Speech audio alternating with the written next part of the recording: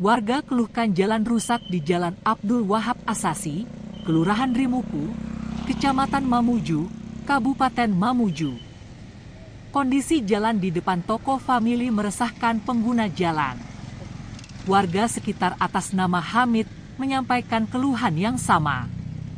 Akibat jalan berlubang tak kunjung diperbaiki pemerintah daerah. Pengguna jalan tampak menghindari kubangan air sepanjang 5 meter di tengah jalan utama kota Mamuju.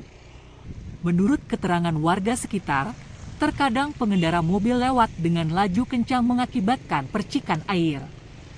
Sehingga warga sekitar merasa sangat terganggu akibat genangan air tak kunjung dapat perbaikan dari Pemda. Pantauan Tribun Sulbar.com Jalan Abdul Wahab Asasi, tepatnya di depan toko famili membahayakan warga sekitar. Kondisi jalan berlubang ditambah genangan air setinggi mata kaki. Membuat pengendara jalan harus berebut jalan untuk menghindari genangan air. Sehingga membahayakan pengendara roda dua dan warga ketika melintasi jalan tersebut.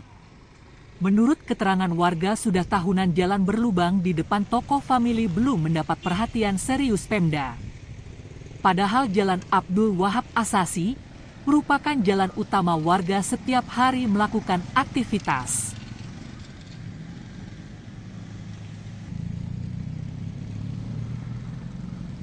Download Tribun X sekarang, menghadirkan lokal menjadi Indonesia.